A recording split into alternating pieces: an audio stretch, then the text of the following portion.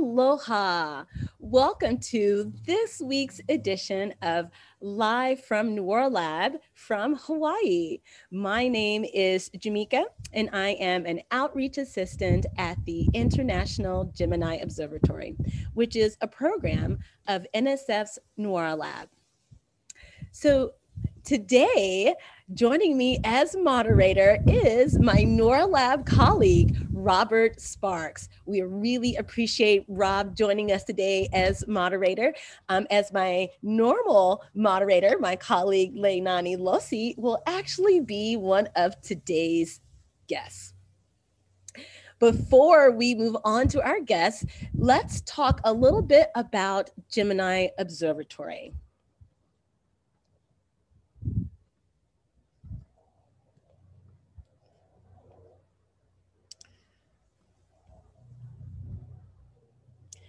The International Gemini Observatory is actually one of five programs of NSF's NOIRLab, which is the preeminent U.S. National Center for Ground-Based Nighttime Optical and Infrared Astronomy. Gemini Observatory is composed of twin telescopes, Gemini North, located on Mauna Kea, at an altitude of about 13,382 feet, um, just a little bit over 4,000 meters, and also Gemini South, which is located on north central Chile's Cerro Pachon. Now, Gemini telescopes observe invisible and infrared light. Its eight meter reflectors collect this light with mirrors that are coated with a special layer of protected silver rather than aluminum, which is the more traditional coating for large telescopes. Now, the mirror is made of ultra low expansion glass and is about 20 centimeters thick. Gemini also has these very large vents, uh, which are opened uh, during the nighttime uh, for observations, which allow that cold night air to flow through the observatory, which produces more stable images. And with telescopes in both hemispheres, Gemini can observe objects throughout the night sky.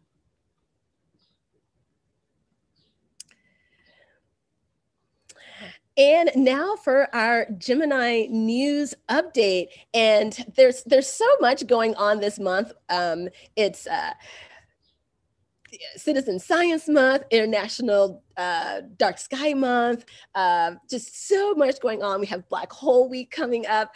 Uh, so I thought this is a perfect time to talk about, of course, black holes. And our newest press release just came out Black hole pairs found in distant merging galaxies. So astronomers have found two close pairs of quasars in the distant universe. Follow up observations with the Gemini North spectroscopically resolved one of those distant um, quasar pairs after their discovery with the Hubble Space Telescope and the Gaia spacecraft. Now, these quasars are closer together than any pair of quasars found so far, providing strong evidence for the existence of supermassive black hole pairs, as well as crucial insight into the galaxy mergers in the early universe. Now, I will definitely have a link to this press release, as well as a link to our CosmoView, uh, CosmoView video series. Uh, we have a very new one that goes with this press release. Look for that in the video description. On to today's guest. So um, today we'll be talking about the 2021 Waimea Solar System Walk. And we have three fantastic, amazing guests who um, really made this year's Solar System Walk extra, extra special. And I will let them tell you about their amazing contribution. First, let me introduce you to our three guests, beginning with Leinani Lozi. Those of you who have watched this show before know that Leinani Lozi is uh, my colleague, NOIRLab colleague here at Gemini in Hilo. Originally from Waimanalo, Oahu, Alyssa Leinani Lozi is a UH Hilo alumnus and has worked in the Communication, Education, and Engagement Department of Gemini Observatory for five years. Welcome, Leinani, as a guest. Next, we have Alexis, Alexis Ann Acohido. Alexis was born and raised also on Oahu and is a UH Manoa alumnus where she graduated with a BS in mathematics. She interned at the Institute for Astronomy on Maui through the Akamai Workforce Initiative, as well as Gemini Observatory as an outreach assistant. She then worked at Gemini Observatory as a media as a media relations and local outreach assistant. She currently works at the East Asian Observatory um, and James Clerk Maxwell Telescope as a telescope systems specialist. Welcome, Alexis. And our final guest to round out this amazing trio is Shelly Pelfrey. Shelly serves as the outreach coordinator for the WM Keck Observatory and provides administrative support to multiple departments at Keck. She also manages the observatory's Shelly, I'm going to mess this up. Pronounce that for me again. Kalihiao program, which offers Keck employees resources for learning about Hawaii's culture, history, and place. An avid cook and crafter, Shelly often shares her skills with the Keck family, including creative outreach programs like Moonface cookies and lei making tutorials. Thank you so much for joining us today, Shelly. And uh, thank you, all three of you ladies, for being with us. I will go ahead and stop my share so that we can begin with our first presentation.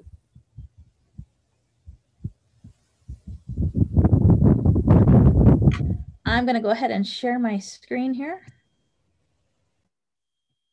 Uh, am I good there? You guys can see my screen? Yes. Fabulous. Uh, thank you so much, Jamika and Rob. Thank you so much for hosting this today and moderating uh, this live from NOIRLab. It's a real pleasure to be here and share our story today. Um, today, of course, we're here about the Waimea Solar System Walk. Um, and we're here in a very interesting year, right? We've we've got COVID going on. So um, in the past, of course, this was always done in person. Um, if you're not familiar with the Solar System Walk, because we do have this international audience here, uh, this was an event that was held on the campuses of Keck Observatory and Canada France Hawaii Telescope. And both of our headquarters are located in Waimea on the Big Island. This is kind of in a windward area where we get a lot of rain. So it's very green. It's a beautiful um, venue, and the public comes out and gets to have a stroll. So it's a healthy way to get out and learn about our solar system. Uh, we started this event in 2009 and we held it every other year as it was in its infancy. So 2009, 2011, 2013. And then in 2014, we decided, you know what, we need to make this an annual event. This is getting so popular and it's really great for the kids and the families. And we made it an annual event. Um, we partner with uh, Mauna Kea observatories with all of the rest of the telescopes. And um, sometimes we have folks that come out from um, partner agencies. So usually at this booth for the sun, we get Mauna Loa Observatory, which is a solar observatory. They're not on Mauna Kea, but they still partner with us. So it's really nice to be able to um, have those relationships. Uh, as you can see here, we've set up tents on lawn and on the lawns and people would just stroll along and learn something in every booth. And it was a great hands-on community event. And then COVID happened. and we had to decide what we were going to do about continuing the event. Sorry, my phone, I can't make that stop. There we go. Uh, we had to decide what we were going to do about continuing the event. And we did decide that we, we wanted to make sure that we provided this service to our community. And so instead we chose this venue here, which is um, on the left side of the screen. This is the bypass road in Waimea. And you can see there's a really nice wide sidewalk and the community uses it already for walking and running and getting their dogs outside and socializing. And we decided this would be a great place to have our, our new virtual event. Uh, what we had to do was um, make sure that people could social distance. And so, you know, it's outside. The planets are really far away from each other, just like they are in our solar system. And so it was good that um, everything was outside and across an entire mile. And so um, there was a lot of distance in between these stations. Instead of tents, we had stickers on the ground, and we've actually graduated from stickers to the banners that are staked into the grass, into garage sale signs that are also staked into the grass, just to ensure that um, our message doesn't get lost. Uh, you can see there's a QR code on the on the banner that's here on the ground, and that's scannable to get you to a video. Uh, we wanted to make sure that the information that we were providing to the public was as much as possible like the information that we were providing at our in-person events. And so we tapped our uh, partners at the Mauna Kea observatories and other institutions to help us out with that. And that worked out really well. Um, since Easter was this past weekend, we did an Easter egg hunt and that was super fun. Uh, we got it out there on our social media and hid some hid some eggs along the route, and kids were able to get out there and um, collect swag from the different Mauna Kea observatories and add that to their their Easter baskets. Uh, part of the videos that we created for the solar system walk um, were, of course, brand new to all of us. We had never done these videos before. This was a completely new territory for us and we decided that videos was going to be videos were going to be the way that we were reaching our new virtual audience. Um, and as the walk concludes here more and more of these videos will be available on our mauna kea outreach astronomy youtube site along with our facebook. And so even if you aren't in waimea to scan that qr code you can still access these really great educational videos. And there'll be a link at the end with those in them um, like I mentioned before, each of the stops along the solar system walk has a poster, um, a banner like you see in these pictures here. And each of those QR codes has a different video. Uh, when we were making these videos, of course, we started out all in English because we all speak English here in Hawaii. And we, we decided that we really wanted to make sure that we included Hawaiian language um, because we do live here in Hawaii. And uh, the discoveries that we feature in each of our stops along the solar system were discoveries that were made on Mauna Kea. And so to make sure that we included Olelo Hawaii in these videos was super important to us. And I know Leinani and Alexis are going to be talking about translations and how we made the videos. And so I'm going to leave that part to them. Um, but I did want to say uh, huge mahalo, huge thank you to our partner institutions and those that have helped us with the English, just the English part of the videos. Um, and you can see here, I've listed everybody out. I would do a call out to all of them, but then I'd end up talking about them for the next half an hour and we don't have that kind of time. But um, these are these are all people that have other jobs other than outreach, except for Jamika and Mary Beth and Carolyn. But you know, they're giving their their really, really extremely valuable time um, because they believe in education and they believe that community relations are so important. And so um, please go ahead and check out um, these videos when, I, when you get to the link at the end. Um, I also wanna say that because of this new format with COVID, um, we had to develop new ways of marketing this event. It wasn't, wow, what's that white tent over there? Let's go check it out. We had to get on social media and really push our message out there. And so um, uh, Alyssa, Ali Clark from East Asian Observatory helped us out with graphics. Um, this is that nice uh, opening logo that we have here. And she also helped us design our road stickers and our road banners that included the QR code. We also worked with a new graphics designer, um, Tomi Takemura, who did all of our video editing for us. And they're so amazing. I, I really hope that you take some time out to check our videos out. So I wanted to say um, mahalo to them as well. And of course, can't do it without my two partners in crime. Um, this is the organizing committee here, Mary Beth from Canada, France, Hawaii Telescope, and Carolyn, who also served as our Mercury video. That's why she's doing this, because she's pointing at Mercury. Uh, and so these two ladies uh, really helped to move this process along, make sure we got all of our permits in place, made sure we have everything ordered, and that this came off without a hitch. And so mahalo nui to them as well. Um, we have our materials on the website. And so what you can do is you can actually download these things and create your own solar system walk. And so we've done all the hard work for you. All you need to do is find a place to put it out there.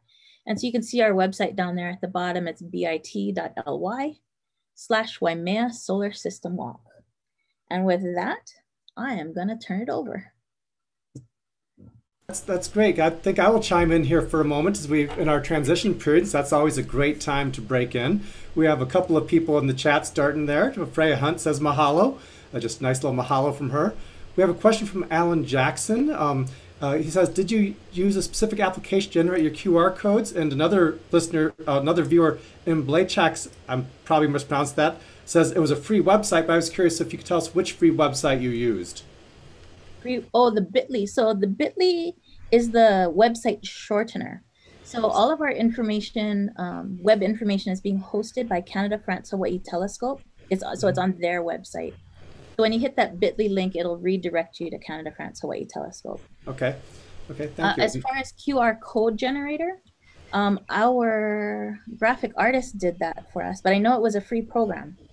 And I've, I've created QR QR codes on um, on the web before, and there's a ton of free programs out there. Okay, so so there's a lot of free programs. I, I've not used a lot, a lot, of them myself personally, so I don't have recommendations. But uh, thank you very much. So I will let you go on to the next speaker now. That was great. Thank you I actually have a question for you, Shelly, before we move on. Um, if a school or an organization wanted to um, or wanted some help creating their own solar system walk, could they contact you? They could. We can uh, put my email down in the bottom of the video. I think, Jamika, if that's possible, that would be great. Hello, Shelly. All right, so I think it's my turn. It's all right. Okay, so let me share my screen.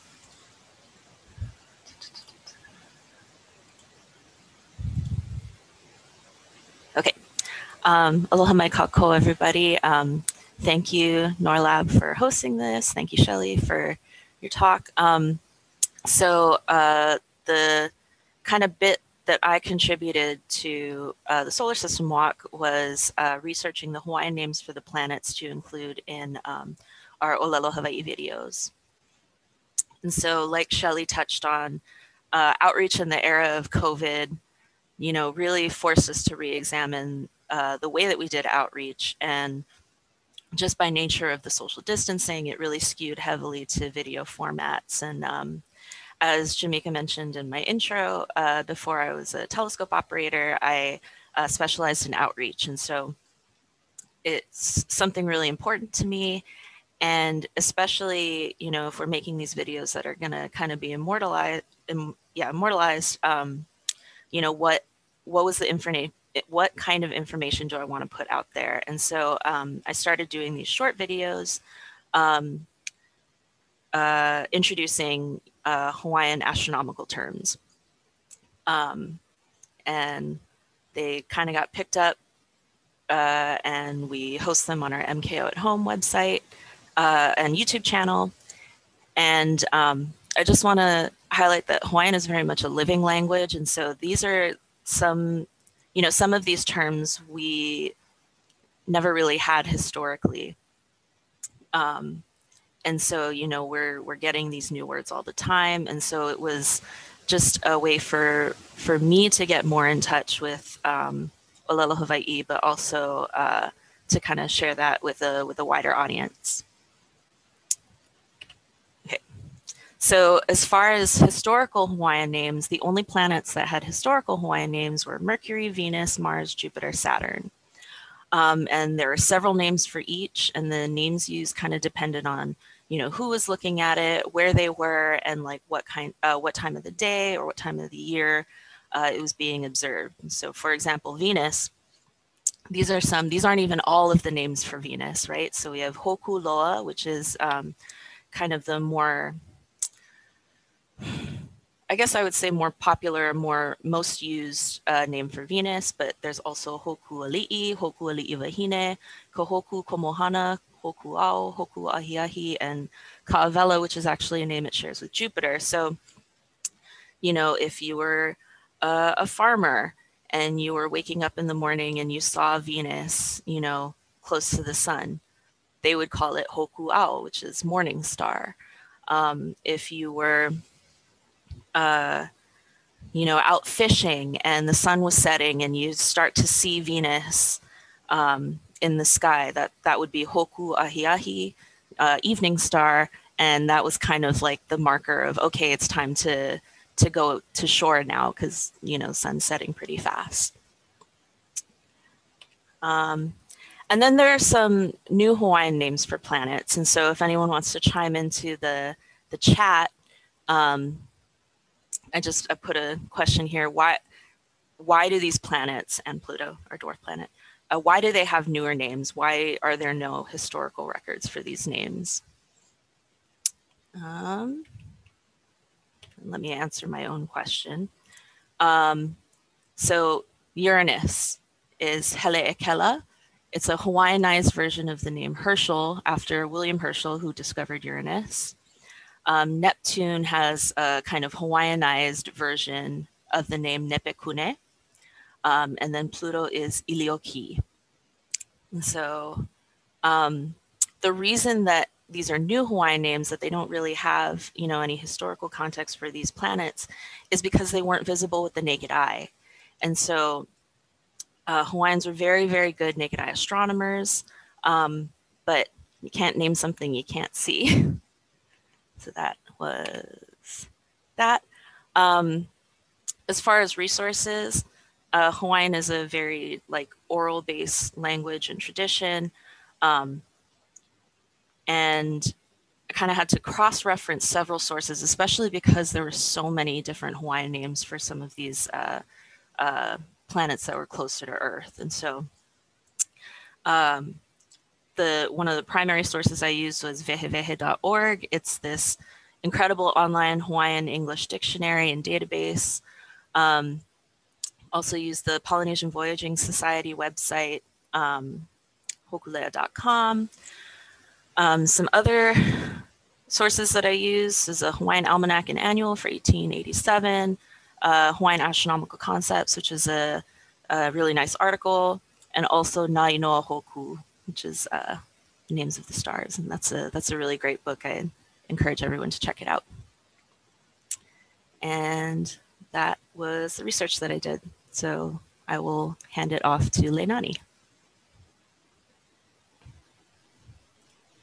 Mahalo, Alexis. Um, before we move on, maybe if anyone has any questions for Alexis and her process, um, I guess I have a question for you what was the the most challenging part? Did you find it challenging at all researching some of these names i guess um you know not only did i want to know what the names were but kind of like how they came to be and like for some of them you can kind of tell you know based on the names and the descriptions but um you know not always and so kind of had to do a little bit of digging there but it was it was really interesting and really fun to kind of to kind of get that new information. Hi, I I don't we don't have any questions in the chat right now, but I do have a question. I, you caught my curiosity on a point here. And you said that there was like different names for some of the planets, like Mercury might have different names. And I was curious mm-hmm. about that. Is that because they were did it evolve on different islands or different groups within Hawaii, or how how those different names come about? Totally. So yeah, I mean, it was just it was a bunch of different things. So um, that is one of the ways is you know we were a seafaring people, but they we had these kind of like isolated groups, uh, these isolated populations on each island, and so yeah, they would have maybe a different name uh, for Venus on Kauai than they would on Oahu or on Maui. So um, yeah, that is one of the reasons. And it's a new, a new uh, uh, I like I see a question just came in the chat from uh, Heather Bartlett. There's a wonderful question. She says, Alexis Mahalo for your presentation. How are the new Hawaiian names created? Like who agrees on them? And that is also a wonderful question. Ooh, that is good. Um, you know, I would say kind of. Mm, I guess it depends, right? So we do have like the College of Hawaiian Language um, at UH Hilo and UH Manoa, and so um, they are the authorities, right? And so when they come together, um, they kind of decide, you know, these these new names that are kind of being introduced into the lexicon. And so A Hua He Inoa is a great program um, run out of the University of Hawaii in Hilo. And uh, these are uh, the College of Hawaiian Language students and professors, and they get together and uh, the Mauna Kea observatories work with them, and we, um, you know, they figure out uh, new names for these these new objects that we're finding all the time.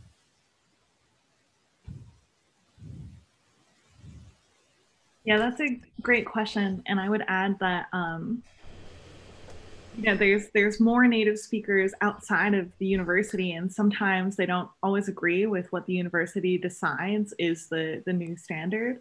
Um, so i know one example is uh, the word for cute in hawaiian i think is kyuke kyuke yeah. And i know some people who really don't like that Well, thank you. That was a great answer. I love hearing about that. And we have one more comment. Thanks, Alexis. I love to hear about the different names of Venus from Jasmine Silva. And with that, I will uh, let you let us go on to the next speaker. So please thank keep putting comments and questions in the chat. All right. Aloha nui kako. Hello, everyone. My name is Alyssa Leinani Lozi. You can call me Leinani, and I am your next speaker. Um, you might also recognize me. I help to host these live from NOIRLab events, but today I'm doing a presentation, so I hope that you enjoy it. Uh, a couple quick things before I share my screen. Uh, Alexis, when you were talking about your presentation and about Ilioki being the word for Pluto, I realized that we use the wrong word in our solar system walk videos. I totally rewrote what you wrote as Ilioki in our script to Ilikoi.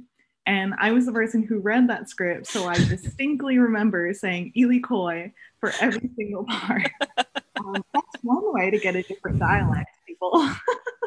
we're, but, we're getting it out there. We're getting it out there. so we'll have to go back and maybe record that and create new decals and everything. Uh, but hilarious, you know, we are um, none of us here are really experts at Hawaiian language, despite the fact that we are all Native Hawaiian women born and raised in Hawaii. Um, and I will talk a little bit about how can that be in my slides.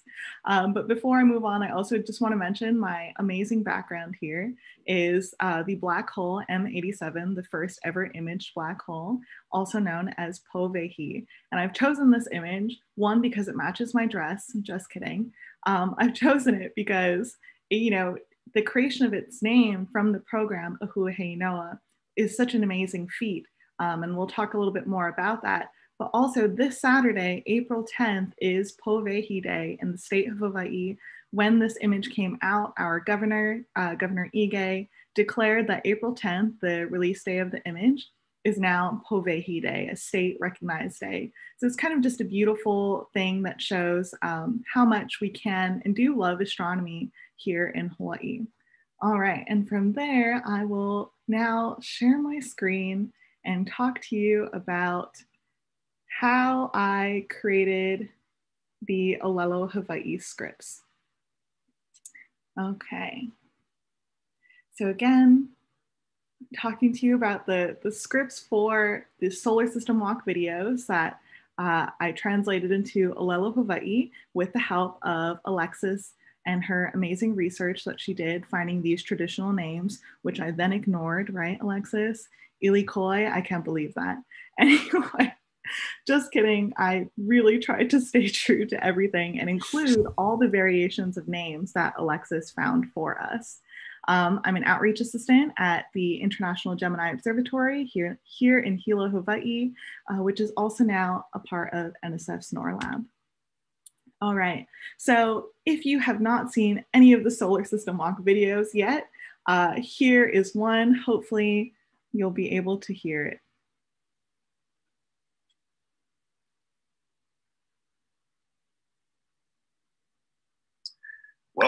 To the planet Mars. My name is Chris Yoakum. I'm from the Pacific International Space Center for Exploration Systems, also known as Pisces. If you were to visit Mars, you would definitely need a spacesuit. It's a cold, rocky planet with a thin atmosphere made up of mostly carbon dioxide, which humans cannot breathe. Mars is one of the most explored places in our solar system. Being the fourth planet from the sun, it's a close neighbor to Earth. It also has a lot of similarities to our home planet, like seasons, ice caps, volcanoes, canyons, and its own weather systems. But Mars has stark differences too. One Martian year is equivalent to 1.88 Earth years, or 687 days, and it's roughly half the size of our own planet. It has two moons, plus the force of gravity is very different. If you weighed 100 pounds on Earth, you would weigh about 38 pounds on Mars. Fun fact Mars gets its reddish color from the blanket of oxidized iron dust that covers its surface. Basically, it's rusty dust, which is why the Mars is also referred to as the red planet. Enjoy the rest of your trip through the solar system. Up next, the asteroid belt.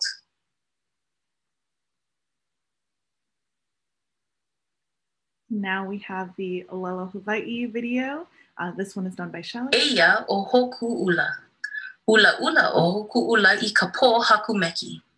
O hoku ula, hoku ula pina au, a me au kele nui aiku nā inoa e a e o hoku ula.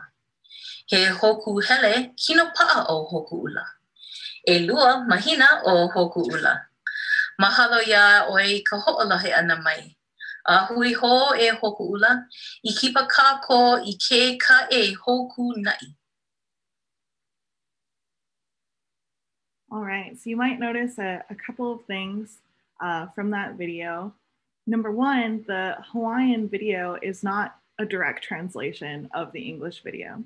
Um, and that is because I am only a second year student and that's like 100 level classes because I had to start at the 101 level and I'm in two years of classes now and I'm still not at 200 level uh, because that's how little Hawaiian I knew before starting classes. And so, coming from a very beginner standpoint, I um, did not think that I would be able to translate the English scripts or the English videos that my colleagues at the other Mauna Kea observatories had so wonderfully created. Uh, so instead, I tried to come up with a template of concepts that I wanted each video um, in Hawaiian to, to include.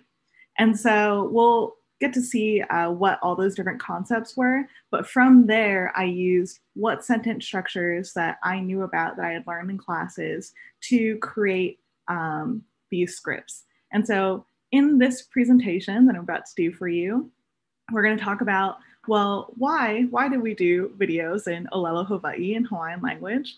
And then we'll talk about um, the some of these sentence patterns that that I used for creating the videos. And then we'll kind of just talk about some of the, the beautiful aspects of the Hawaiian language in general. All right. Okay, so why Olelo Hawaii? Um, I really wanted to create this slide for a lot of our viewers are not from Hawaii and maybe are very unfamiliar with uh, the things that Hawaii has gone through, um, but also to sort of acknowledge that, you know, NSF's NOIRLab, we translate everything into Spanish because we work with our Chilean colleagues um, and you know, astronomy should be for everyone. And maybe one day all astronomy things could be translated into all languages. But why did we, you know, why are we so stoked that these videos exist in Olelo, Hawaii? Why are there press releases about it? Um, why is it so uncommon? And this is a little bit of the reason why here. So, this is a little brief history lesson. Okay. In 1840, the first ever public, ed- not the first ever, a public education system was established by King Kamehameha III in Hawaii, in the Kingdom of Hawaii. And this actually makes it one of the oldest public education systems in the United States, which is pretty cool. Fast forward like 53 years, the Hawaiian Kingdom is illegally overthrown Three years after that, Hawaiian language is banned from all schools in Hawaii. Two years after that, 1898, the United States of America annexes Hawaii as a territory. And then, you know, almost 100 years later, we are actually granted statehood. So there's a very long gap there between uh, us being a territory and then becoming a state in the 1970s, uh, we experienced a Hawaiian language revitalization movement. And so some of the pictures here I have on this slide, the very old picture is King Kamehameha III. And then the newer picture is Larry Kimura, who is often thought to be the grandfather of Hawaiian language. So in 1970, he created a, a public radio show in which he interviewed uh, native Hawaiian speakers. And those recordings are still used today in a lot of Hawaiian language classes to learn sort of um, the syntax and the vocabulary of what a native speaker with uninterrupted generations of speaking at home sounds like. So we very much uh, can attribute, contribute. we thank Larry Kimura very much for all of the amazing things that he has done and continues to do, uh, which we'll talk about on the next slide. So that was in the 1970s. In the 1980s, through this movement, uh, some of the first Hawaiian language immersion schools are created, including Aha Punana Leo, which is a preschool Hawaiian immersion program. And so, where are we now? Kind of 2016, uh, there was a government report on languages spoken at home in Hawaii. And our state's population is 1.4 million people. And of that, they found that there were about 18,000 Hawaiian speakers. So that means only 1.2% of our state speaks Hawaiian at home. And um, for that matter, you know, not everyone in our state is Native Hawaiian. And so to sort of touch on that, the people who identify as Native Hawaiian or other Pacific Islander in the Census Bureau that we do here uh, is 26.7%. So you can kind of see that of the state, you know, 26% is Native Hawaiian, but only 1% is speaking Hawaiian at home. And a lot of that has to do with, um, as I said before, you know, once the language was banned from schools, uh, it was essentially erased from common use within the community at, as a whole. And so there are generations um, within our own families who did not learn to speak Hawaiian. And so this is the struggle that we're kind of up against when we talk about uh, how great the resources that we have now in Olelo Hawaii are, because we've had to recreate some of these resources and and um, not update, but like create new words for the things that we have today, right? Like a word for airplane is mokulele, which means uh, island jumping. so it's kind of just a it's a fun thing to do, and I think that all three of our speakers here, all three of us, uh, would say that we feel very blessed to be able to work in astronomy and work with Hawaiian language and sort of deciding uh, what direction the language and culture and astronomy are going to move in. Okay. Other reasons for why Olelo Hawaii. So besides, you know, the history of it and wanting to contribute to there being more resources for our future generations to be able to speak Hawaiian fluently about all fields of research and all topics. Uh, we're also just, you know, we're in Hawaii. so why not have everything that we do in Hawaiian? But also from a perspective of uh, psychology and multidisciplinary learning, when we can learn something in more fields than just one. So, when we are learning something and looking at it from a perspective of learning about science, but also practicing our language skills, we're creating associations within our brain, within our psyche, that allow us to learn that material a bit deeper and maybe even better. And then, in addition to that, uh, different languages, you know, languages from everywhere in the world, all provide a different lens with which we can see the world and understand what's around us, right? So it's not just language for language's sake, but it brings this depth, this otherness to the material, to the objects that we learn about. Um, that can help us to relate to those things in a different way, that can help us to understand them better instead of just in one sort of one sort of lens. Just as we look at space in many different wavelengths, we can look at all fields of research from multiple perspectives, whether they're cultural, different languages, or even you know more artistic perspectives. So those are some reasons for why I wanted to create these videos, even though it was very difficult for me as a beginning student um, and took me a very long time. Mahalo to the Solar System Walk organizing committee who waited for me to create these scripts. All right, and then of course, um, as we Alexis mentioned before, is a program uh, run by the Imiloa Astronomy Center in which new names are created for newly discovered astronomical objects uh, from the Mauna Kea Observatory. So here are a couple different examples. We of course have Powehi on the left and behind me, um, which as I said before, first ever image black hole. And I think the second uh, object to be named by A Hua He Inoa. I think the very first object was Oumuamua, though technically that was uh, maybe just Larry who who named it, and he like spearheaded it and you know started this movement of okay, we got one object named and this and accepted by the International Astronomical Union. So let's keep this going. Like this is possible. And so then Powehi came, and you know, obviously everyone was really excited about that. We have Powehi Day. And since then, we've had a couple other uh, objects named through this initiative, through the A Hua He program. And I think all of them so far have been named by different cohorts. So Powehi was named by a different cohort than Poniuaʻena. And this picture here of this group um, is the um, Hawaiian immersion school students that Alexis mentioned, who helped to name two different asteroids, uh, whose names I should have put on this slide because I'm not going to remember how to say them right now.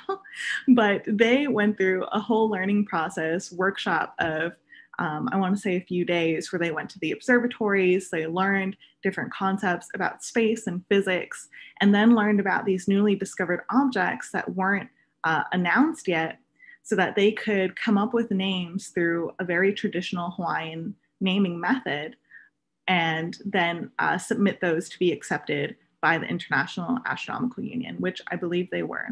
So if you click on the link, the hyperlinked uh, link here, or if you even just Google search A Hua He Inoa and you go to Imiloa's website, you can learn more about all of these things.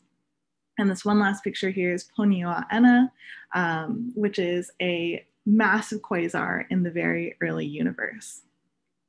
So mahalo to A Hua He Inoa for being such an amazing inspiration, an amazing uh, bridge between the Hawaiian language uh, students and teachers that exist here and our Mauna Kea observatories, um, while a lot of us are still honing our skills so that we can help with this initiative and make it even more commonplace. Thanks, Alyssa. I have a quick question from the chat here. Um, first of all, the, uh, we do have a nice comment from uh, Alan Jackson. Just says very nicely stated, so he's enjoying it. And from uh, Stat Grazer Girl 30s, mahalo for a very interesting presentation. And she wants to know are Hawaiian language classes offered in public schools? And what's the status there? And I think it's really neat that this is going on there. Ooh, that's a good question. So um, I'm going to age myself a little bit here, but I graduated from Castle High School in 2012. And uh, when I went to school, the languages that were offered to us, because as Americans, we all know that we are required to take another language in high school. Do we learn that fluently? Most times not. But anyway, the only languages that were offered at my high school were Japanese uh, and Spanish, I believe. So, you know, within the public school system, I, I don't know that there's really that many programs or um, you know even enough teachers to be able to teach Hawaiian in every public school. But as I said before, there are some immersion schools uh, like Punana Leo and you know uh, private schools like Kamehameha schools are able to teach Hawaiian there. Um, I also went to an elementary school called Puahala, which was both immersion and English speaking. So it was very interesting. So I remember being very small, and we had a kumu who would come and teach us songs in Hawaiian, which was really beautiful. Okay, and I we have another comment here. Part of it's in Hawaiian, so I'm going to. I hope I don't mutilate it too bad, but I recognize a couple of the words. Mahalo nui loa, Leinani. It was wonderful to learn more about the collaboration between uh, Olelo Hawaii speakers in the in the astronomy community for this project. All of you are amazing. And she also says my high school, Waik- Waiakea, had a Hawaiian language program. So there are apparently are some in, in Hawaii. I think is great to get the objects named in Hawaiian and with Mauna Kea observatories, there's an endless supply of new objects to name. So that's a great resource and a great collaboration. So that I'll let you continue. All right. Mahalo nui for that comment. Yes. Okay. All right, I only have 15 minutes left, and I, I said I was going to talk about a lot more than I have. So to pile through this, and maybe you'll learn some uh, basic Hawaiian things from the rest of my slides here. Okay, so there's two types of translation that you learn about in Hawaiian 101, and that is Unuhi Laula and Unuhi Haiki. And so you can kind of think of them as one is directly translating. Unuhi Haiki is direct translation, like word from word drop down, but it's also sometimes thought to be a more Hawaiian way of thinking. And it's similar to Olelo Pa'iai, which is pidgin. So here I have a, a, cover, a picture of a cover of a book, Pidgin to the Max, which is, uh, which was created, you can research about this, but it was created as sometimes called a broken English for Hawaiians and uh, many other um, nationalities of people who moved to Hawaii in the 1840s as part of the sugarcane um, boom, as the sugarcane uh, industry that existed here and was the economic resource for everything for like 100 years.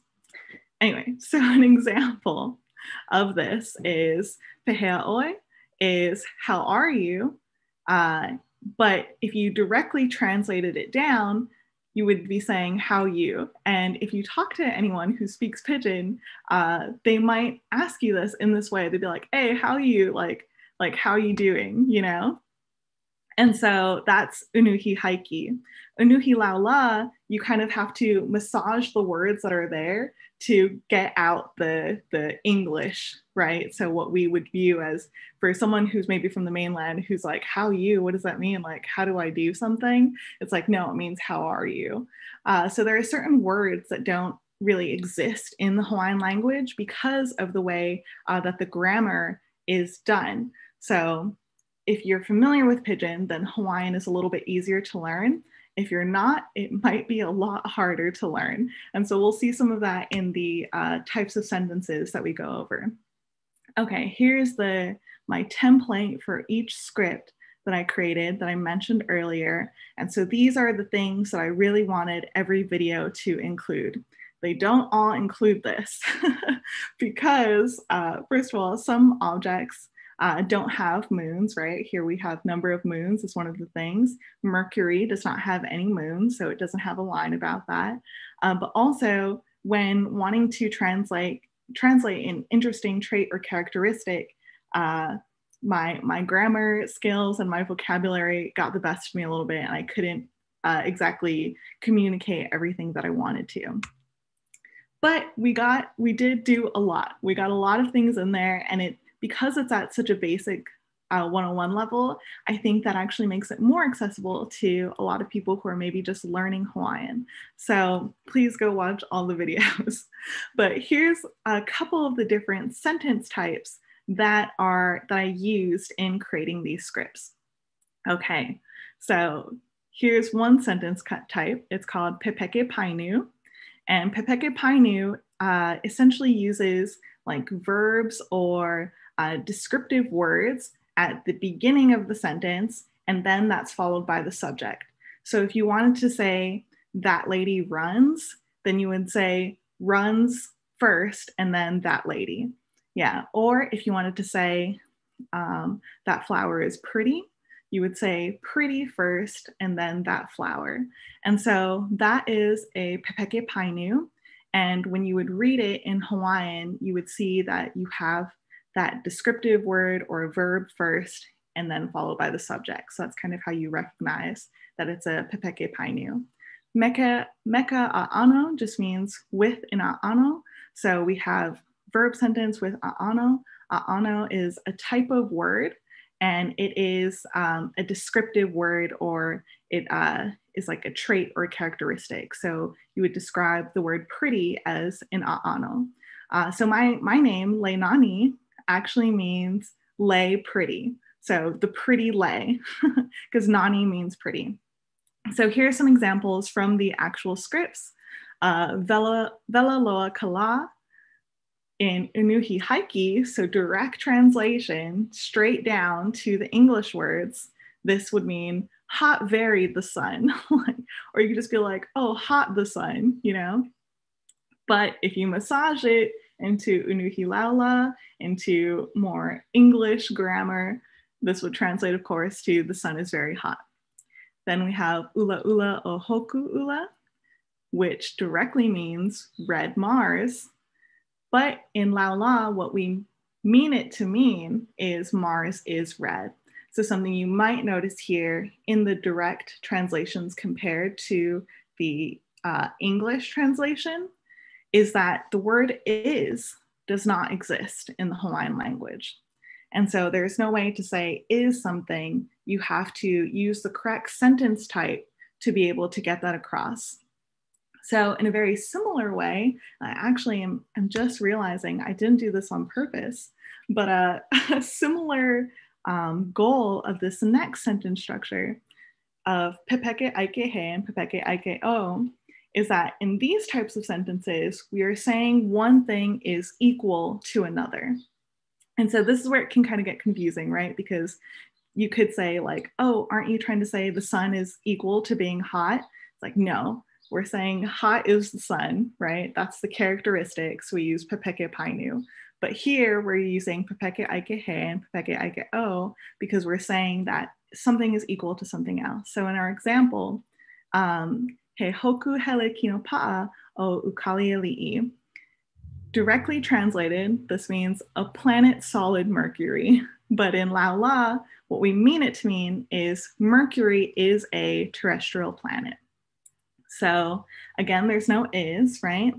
But hey, so hey that we have at the beginning of the sentence there uh, is the word for a.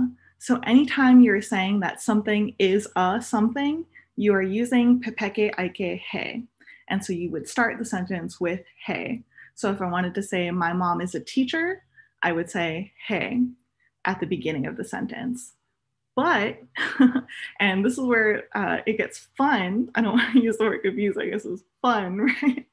Uh, Pepeke Iko is a similar goal of saying one thing is equal to another, but we are not using a. So with the example I used before, my mom is a teacher, I would use hey at the beginning. If I say my mom is the teacher, then I'm using Pepeke Iko. So in our example here, we have O Pele Kainoa o Kekahi Lua Pele, which means one of the volcanoes is named Pele. This is in reference to the moon of Io, um, which you can learn a little bit about in the Jupiter video if you go and watch that. And so you'll see that, you know, there's no uh in that sentence, right? So we have to use pepeke aike o and start with that okina o to indicate that we are now stating that something is equal to something else. All right. So those are those are the only two types of sentences I'm going to go over because that's probably already a lot to digest if you're not familiar with Hawaiian language at all. Um, but those were that's a couple of the uh, things that you learn in Hawaiian 101, some of the very basic sentence structures. So if you enjoyed that, I encourage you to take a class online. UH Hilo does online classes. That's where I learned from uh, and learn a bit more about Olelo Hawaii. Okay, so now to talk a little bit about kind of the beauty of, of the Hawaiian language. And, and so in this, um, I'm talking about the dual meanings that exist for different words. So it's really quite interesting to me in studying Hawaiian language. I've found that the Hawaiian language is both very direct and very poetic.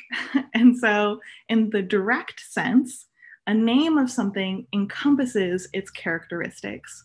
So, when we look at um, a phrase of words I used before, hokuhele kinopa'a, uh, this directly translated, if you just separate those two words, it it's planet and solid, right? Kinopa'a is the word for solid, something that's not gaseous or liquid, it's solid. But when we say it together, we're using it to mean terrestrial planet.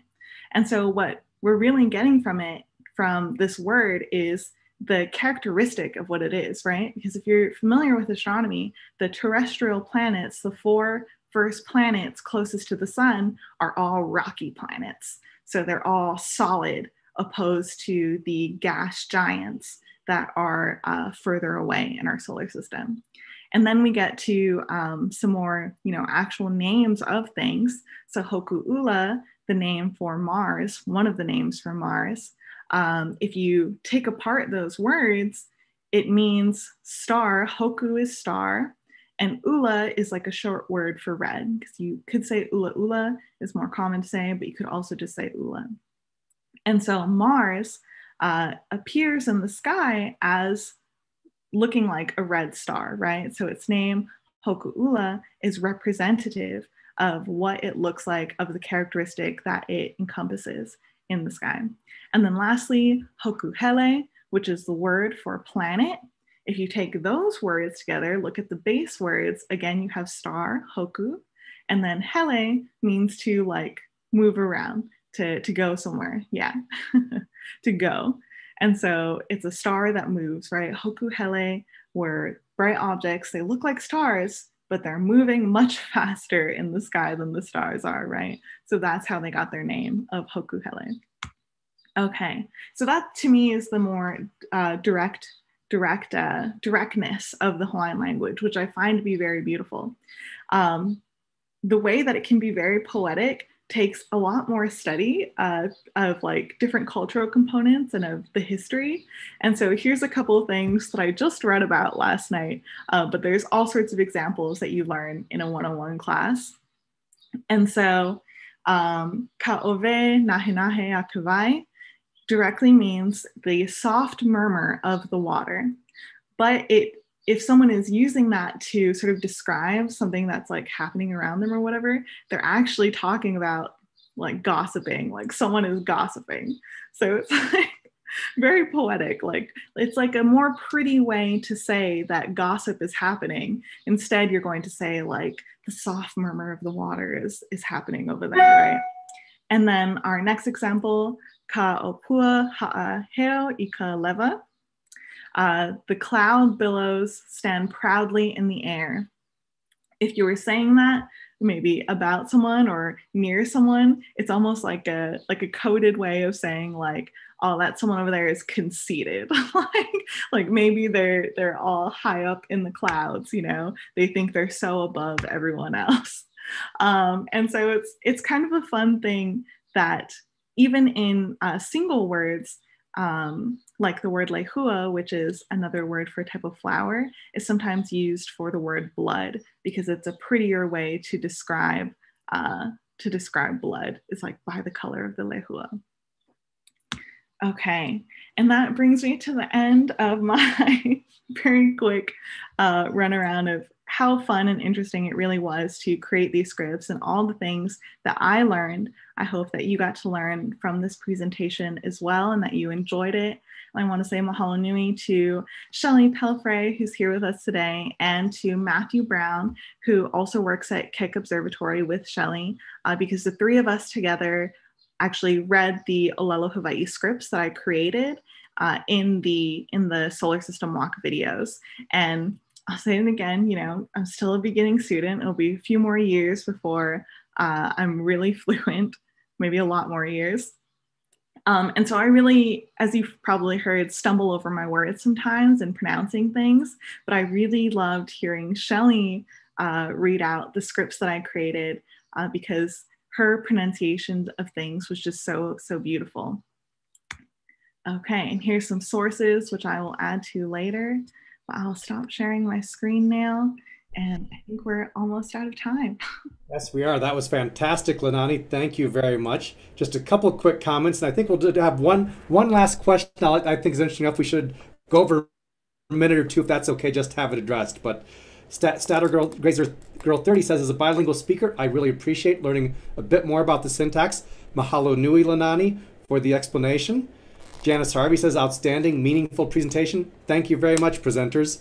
And finally, our uh, M. M. Blachak, who I'm again I might be mispronouncing that, but says uh, has one question. Our last question, I think, for the group. What part of this process have you enjoyed the most? So that I guess that'd be for Shelly, Alexis, and Leinani. What have you enjoyed the most? I think um, for me, um, the best part was like taking our event that we've been doing for the last however many years and like reimagining it and just like putting all of our creative juices together and getting this new thing going. So working together with all of you guys. Yeah, I would say um, for me, I guess just like getting to to relate, you know, astronomy, which is something that I love, to you know my cultural identity is like that's always really, really fun and um, something that I I take a lot of pride in. All right, and my uh, favorite part for me, there's a couple. Uh, one, I super agree with Alexis about being able to really use these two parts of our identity um, syn- in synchronous. I can't I can't speak English right now, but uh, to use them together in such a beautiful way, um, I really hope to continue practicing that and creating more resources and learning more about astronomy, but also, of course, about Olelo Hawaii, so that I can create more resources for all of our students and for the MKOs.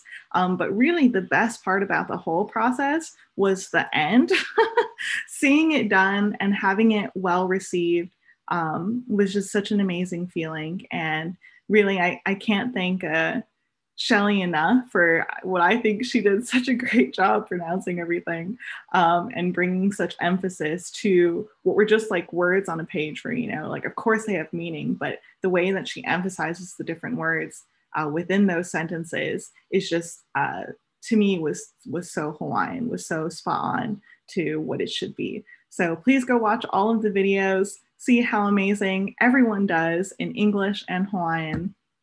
And mahalo nui for being here. Thank you, everyone. And I will turn it back to Jamika at this point for a wrap up. Thank you so much, Rob.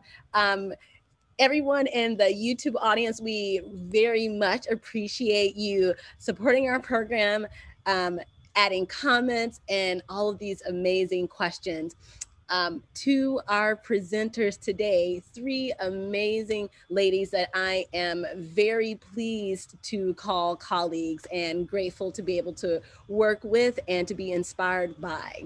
Um, so thank you for joining us very much. And of course, for all of your work um, that you put into having the solar system walk be able to now be offered not only in English, but in the Hawaiian language. And I have to say, uh, as a person who's had um, a couple of classes, Hawaiian language classes at Hilo, um, it was really nice to be able to follow along just a little bit in um, Leinani's explanation of the syntax and to be able to uh, understand at least a few words of what I'm hearing uh, in the in the actual videos. And I have to say again for for just for me, uh, it creates a fantastic connection to the community that I am really glad we now have um, as part of the Solar System Walk. And I hope, uh, Shelly, maybe you could speak to this, that in the future going forward, uh, we're able to maintain this and, and keep this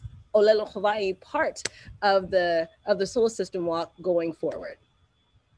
Uh, that is that is a huge hope that we can have in the future. Um, as we all learn more, as we um, gain mastery in the Hawaiian language, it would be fabulous if we could have a Hawaiian language speaker at each of our booths in the future, at our like in-person solar system walk booths, that could give voice to the Hawaiian language and how important it is in astronomy today.